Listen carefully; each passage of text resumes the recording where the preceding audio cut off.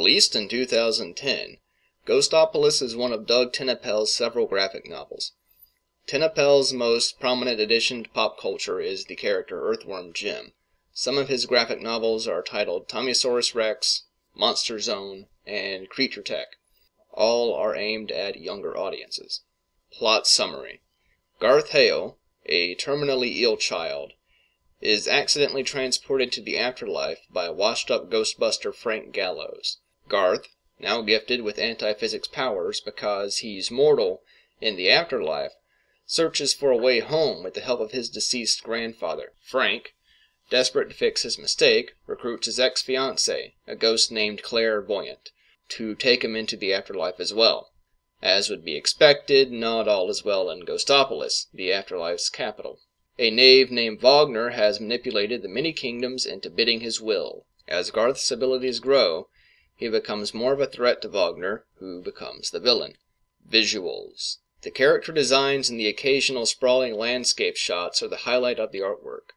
While the designs of the human characters aren't particularly exciting, the book also features a wide variety of horror creatures and the undead, most of whom don't have human anatomy and this is the niche that TenNapel excels at, as demonstrated by Earthworm Jim.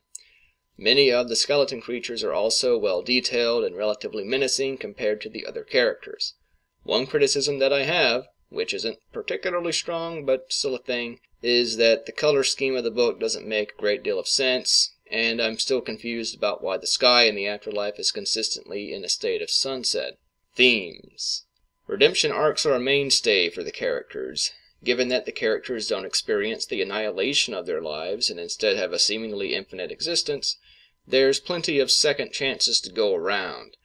The novel plays with some interesting ideas for its characters, but doesn't really explore them to their fullest extent.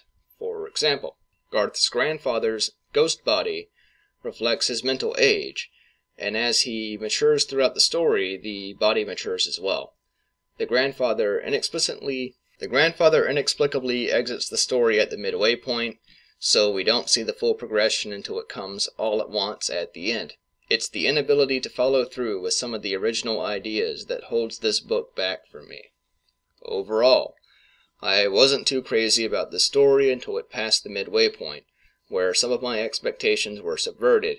The one nagging thought that I had going through it was that it would probably make a better animated film than a graphic novel.